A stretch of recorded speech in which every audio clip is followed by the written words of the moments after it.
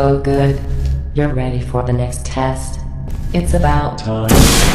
I've been dead for hundreds of years and I've still got doors waiting for you.